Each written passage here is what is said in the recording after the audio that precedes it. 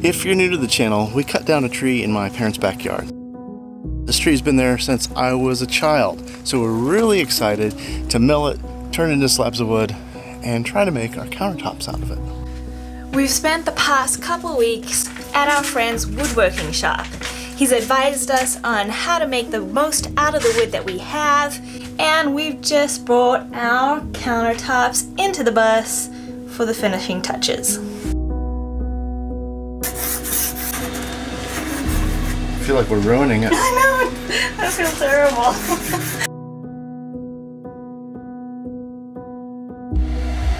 I just can't stop staring at it because it's so pretty. It's so beautiful. I'm so happy right now. Like I just want to be here with my countertop. Is that silly? I just love it so much. We're Mela and Don. We uprooted our lives and left Los Angeles with the dream of converting an MCI D3 40 foot bus into a tiny home on wheels. We're sharing our progress. One bite at a time. what? How to eat an elephant one bite at a time.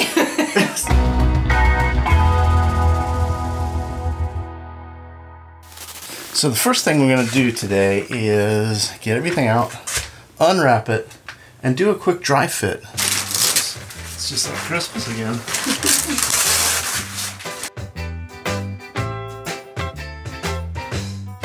First thing we're doing is I'm making some marks so I can cut exactly where our conduit opening is. It's my patented method. Richard was kind enough to let us borrow his track saw, which is really nice so we can get some good straight cuts. The track saw is my favorite tool that we don't have. I think so many projects would have been so much easier with the track saw and I'm so glad Richard let us borrow this one.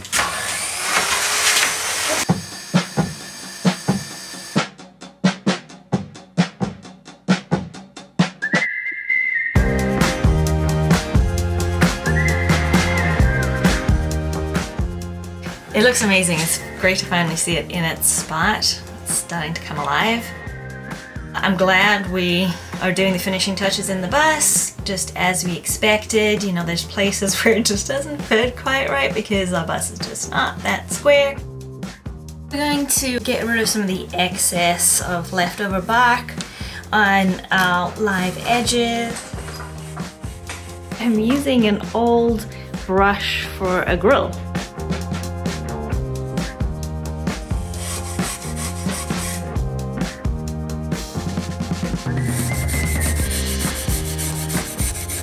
What I like about it is that it still leaves a lot of the character. You can still see all the valleys made from the ash borer beetle getting underneath the bark.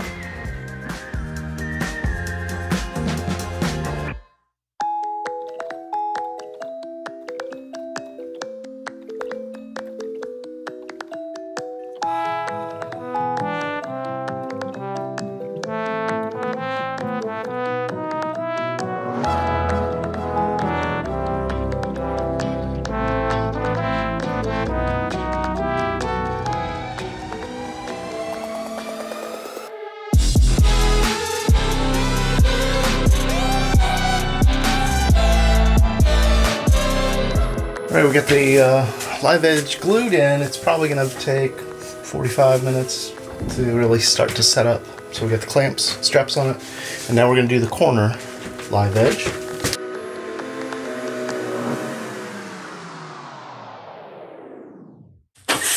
We're gonna do some tests with how we're gonna seal up the rotted wood, and Richard recommended we use a wood weld.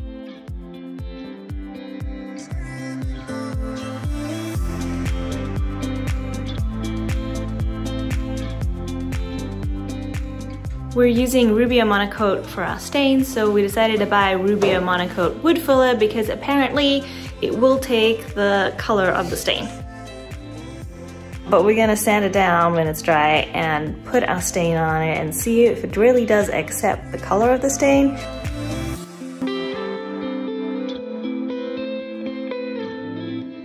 So we purposely built uh, the edges to go over the sink because we've got this apron sink, but we built quite a bit out here with the countertops so that we could make sure and cover the steel of the sink.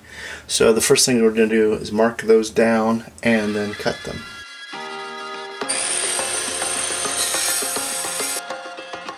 So we used the track saw and chopped off the side that goes right over the sink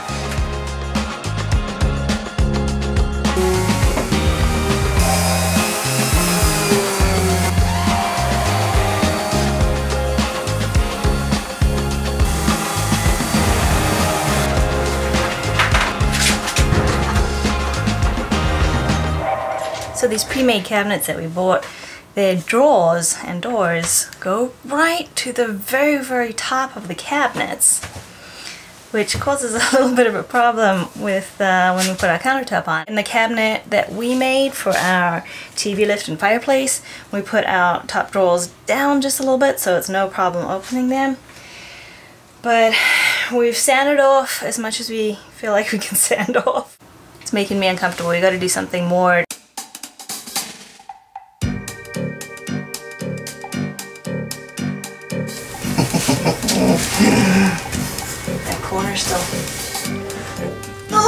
you doing? Oh, I'm going the wrong way. Did you tell me?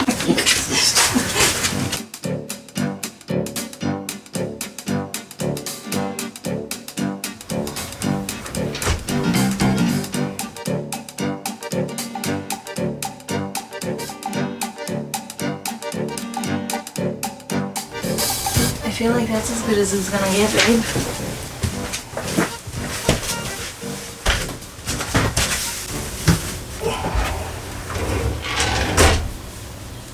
The wood filler is dry. The next step was for us to put some of the stain on. Yeah, it's probably gonna look pretty good. I think So it's gonna look very natural. It's dried a little bit lighter than when it was wet, but once we put the stain on, it darkened it up just enough that I think it's gonna work pretty well. Epoxy won't take stain, so what we'll do for deep holes is put quite a bit of epoxy in, let it harden up, put a little wood filler on top, and then stain that wood filler, which will be the area that's the surface of the countertop.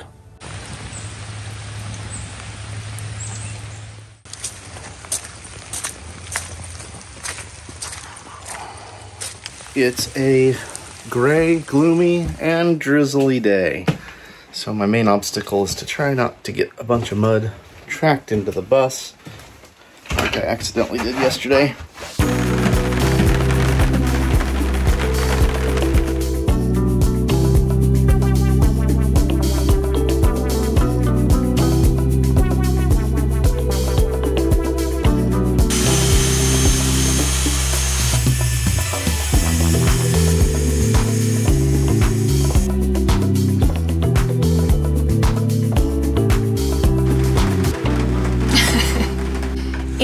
Get the corner L shape cut to size to fit in its spot, we had to take off a little bit again at the bottom of the live edge trim work so that it could fit over the sink because our trim work is all just hanging just a tiny bit too low.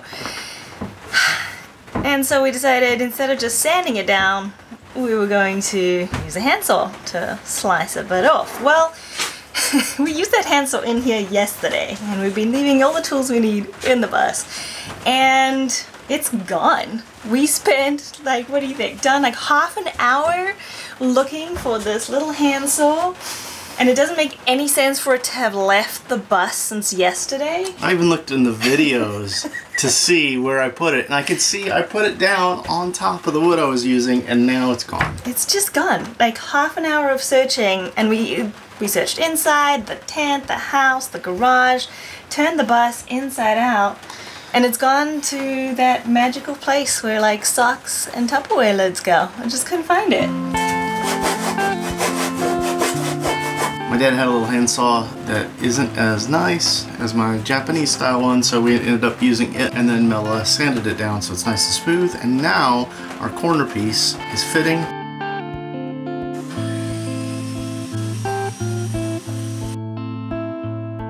Edges cut. so you can kind of see how it's going to look. You know, I just found that saw again, too. I've been looking for it for about a month. It's like wants to be lost.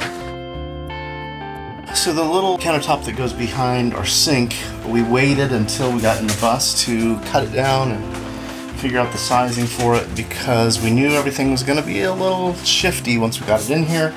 We've got some bottom bracing put in for it now. Glued the bracing down, screwed it down, clamped it down, and then let it dry.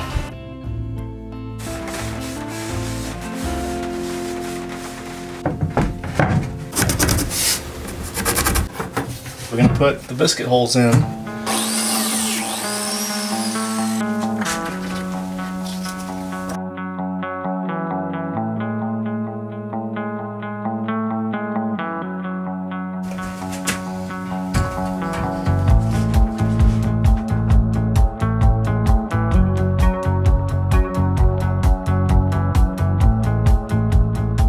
And we got a dry fit, so we're gonna put our epoxies in any place there's a rotten chunk of wood just to seal it up so it doesn't continue rotting.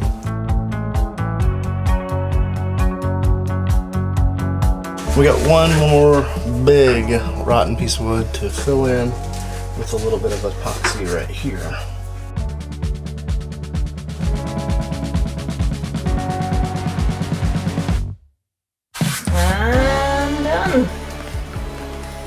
You know what that means? Mean, it's time for wine o'clock. Champagne o'clock. Champagne o'clock. Yeah, remember we didn't have champagne for New Year's, so we can drink it tonight if you want. Yay. We're sealing up the bottom side because the top side will obviously be the side that we put the stain on and seal. But we want to make sure both sides are sealed so it protects them from moisture because if it, any moisture gets underneath and the wood isn't sealed, then the wood could warp, apparently. Alright, we're gonna call it a night. It's time to go have champagne.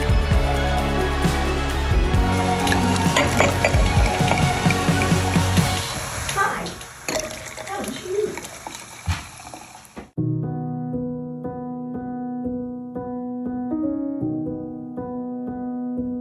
We have had a very mild winter so far. But that has finally changed today. Temps have plummeted, and it looks like they're just gonna go down this week. and we got a first little bit of snow. It's not a lot, but um, it's a sign that the real winter is coming. but we got countertops to do.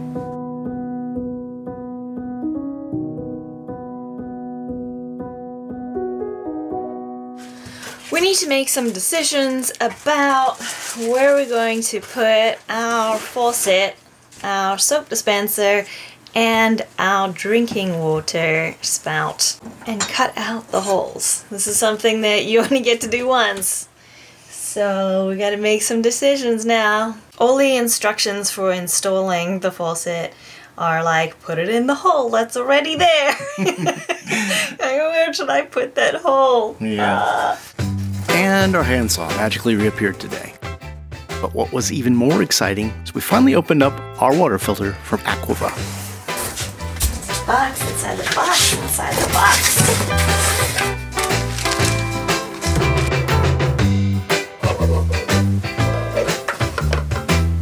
It's like a baby. That's what I was gonna say. It's like the baby version of our big mommy spout. it's so cute. We're not going to be fully installing this water purifier today because we still have plumbing work to do, but we just have to figure out the placement so we can get the hole for a little baby spout. From what we understand, having clean drinking water, safe drinking water, is one of the more difficult things you kind of have to manage. Now, there's a $20 water filter. It's an inline filter, meaning that as you're getting water through a hose, it's filtering out sediment so you can put it into your tank. We'll also be using a house water filter, and this way it will clean the water as it gets into our plumbing before it hits our pressure tank. But for drinking water, there's only a couple real safe options we've found. We've been using a Berkey water filter for the past couple years and originally we bought it thinking this is what we were going to use in the bus. It works really well, it filters the water really well, but it is big and cumbersome and to be honest, the cleaning process is something that Don and I just hate dealing with.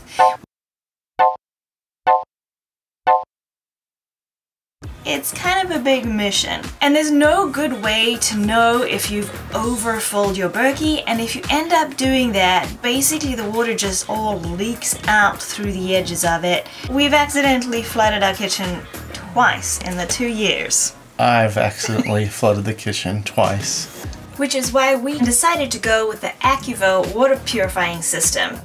It takes up a lot less space, it has really easy maintenance. Because the Acuva water purification system uses UV light, it filters out 99.999% of all bacteria, viruses, things that are so small they couldn't be filtered out with normal filters. Now, our household, we drink three gallons or more of water every day with coffee, drink water, water for the cats. And one thing that I do like about the Acuva filters is the standard filter alone will last us over three years before it would need to be replaced. Now we'll show you the full installation of this water purification system in the future when we are ready to do the plumbing so we can make it work. You can save 10% off any Acuva purchase using coupon code REHABITATE. We'll include our partner link in the description below. But for right now, all we have to do is get our hole for our little faucet.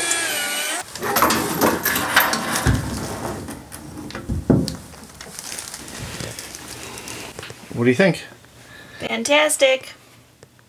Love it. Now we're finally ready to glue all three pieces of our countertop together.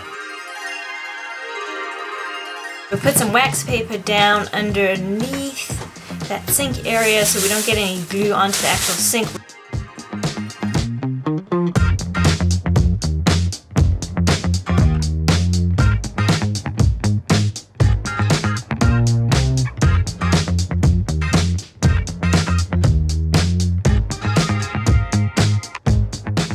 We had a late start to the day today, so didn't get too much done, but I'm feeling pretty good about the fact that it's one whole countertop. We're so close to being done with them. Are you excited, Don? Well, now we're back to what this whole project has been, which is glue and then wait till tomorrow to work on it again. We'll see then. This morning it is cold, down in the low 20s, and our heat pump is only rated to go down to 20. Gotta get the diesel heater out. We haven't fired the diesel heater up since last winter. It's still got some diesel in it. Power came on. Let's see what happens. Yeah, it's heating up real nice. So let's hook it up into our rigged up window. This isn't a permanent solution. This is our makeshift solution until we can figure out where to mount it in the bus. So now we're getting to wood filler. So we're filling in any big cracks, especially in the places where we feel we'll be doing a lot of food prep.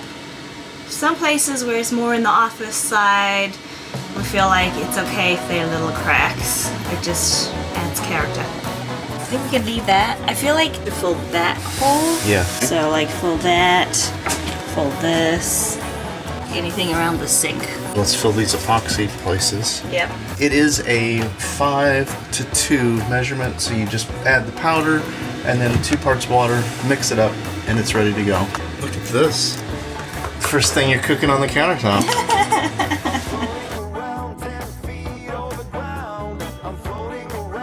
Looks like a delicious chocolatey dessert. That's a better description than poop. I'm getting hungry. Mmm, chocolate cake. Now you got me thinking about chocolate dessert. It's going really good. This method we got down of putting tape down over the hole so you don't get too much wood full all over the place is working great. And my favorite tool for putting it in has been this little bamboo knife.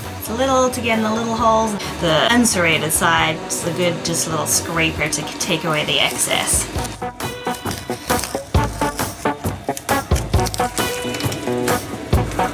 Now we wanted to leave a lot of imperfections, but uh, putting the wood filler and then sealing it is going to make it so that if we get water, it doesn't run down through the countertops into the cabinets.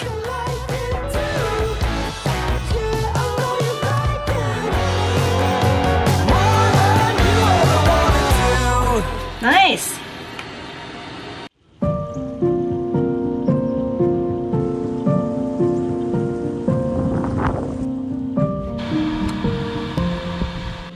Today, finally going to stain the kitchen countertops.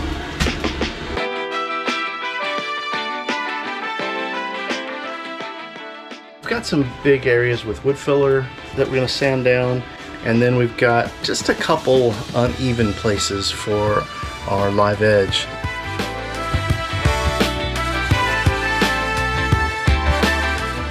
Before we do our final sand with the 120, we're going to spray it down with water to raise the grain. We're using Rubio Monocoat. We mentioned it in a, a couple videos.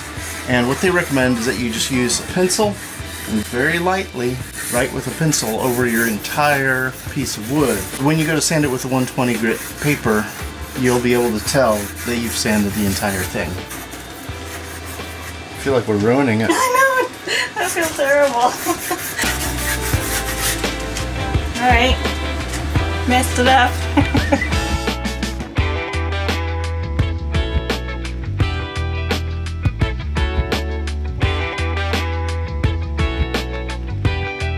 Should I start vacuuming?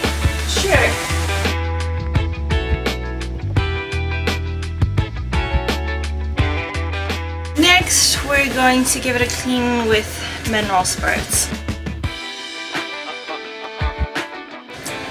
It prepares the wood somehow. I don't remember why, but that's what they said, so that's what we're doing.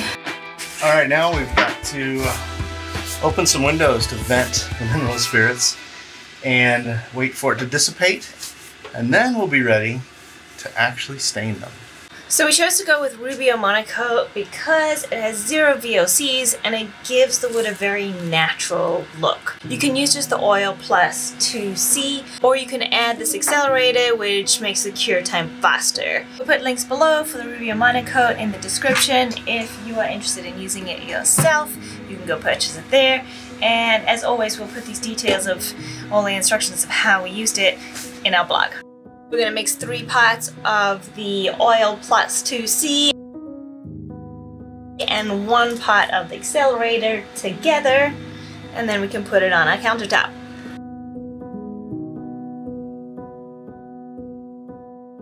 Pouring on just a little bit, a little bit goes a long way. We used the spreader just to really kind of spread it out and then we came in afterwards with a sponge. The sponge was great to get in all the little nooks and crannies that you couldn't get it in with the spreader and just really make sure it was saturating all of the wood. You only want to work in sections at a time. So you want to spread it out, get it everywhere, and then you want to come over with a terry cloth and wipe away any excess. And then you'll move on to the next section.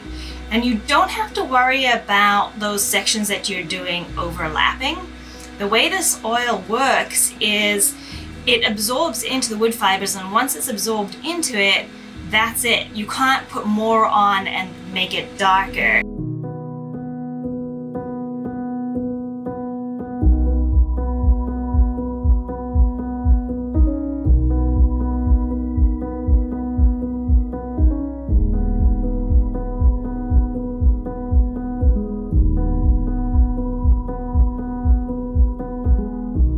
How do you feel about it? Wow.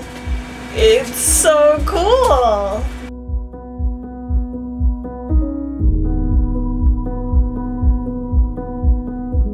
I love it. It's so beautiful.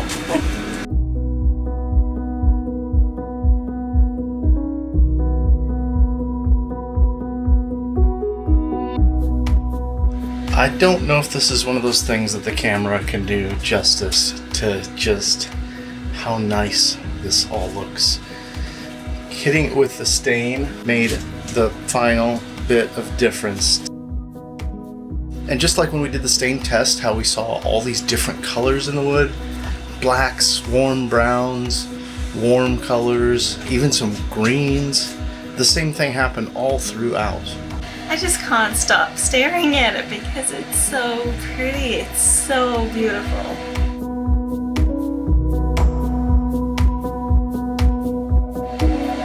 I just, um, I'm so happy right now. Like I just want to be here with my countertop. I'd love to say, oh, it's done, but it's not technically done yet. We have to wait for this to dry and then we will secure the countertop down into the cabinets. And we still have the door for our TV lift uh, to stain. So we've got the backsplash and the door to still stain. Is that silly? I just love it so much. I think I have a new favorite room done. well, there's only three rooms in the bus, so well, hopefully if we're lucky, all three will be your favorite by the time we're done. Because the Acuva water for purification because the Acuva water for water purification. And Mel and I drink a lot of water, about three to three and a half gallons a day, which means with the Acuva of Acuva. I'm glad you're enjoying this. now we'll show you our full insulation. Insulation? it's my turn.